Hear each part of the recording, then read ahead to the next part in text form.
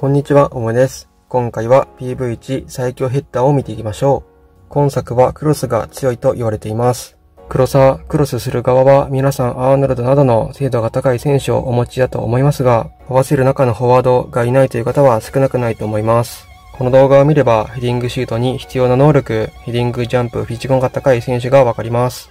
紹介する選手を使えばクロスにはまってしまうはずです。それでは見ていきましょう。まずはこちらをご覧ください。PV1 選手のヘディングジャンプフィジコンに全振りした場合の、えーと、平均ランキングになっています。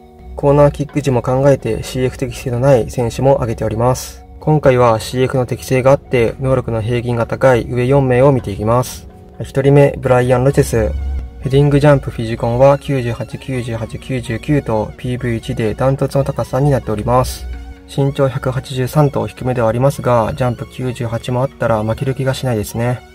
まあ、それでも低めではありますので、まあ、それを考えると足元があってもいいんじゃないかということで、まあ、例2ではドリブル、スピードに入れてみました。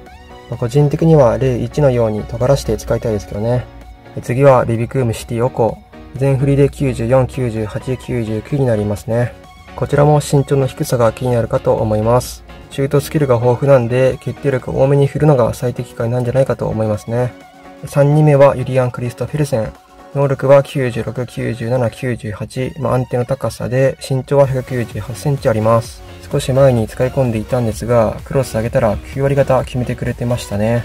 スキルのエアバトルを持っていないのが気になる方もおられると思いますが、まあ、身長は198センチとま大柄なんで、まあ、競り負けることは滅多になくて安心できるんじゃないかと思います。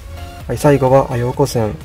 薄適性ですが紹介していきます。ジャンプ、フィジコンが関すと身長は197センチ、レッダーエアバトル持ちということで、まあ、空中戦最強の PV1 になっています。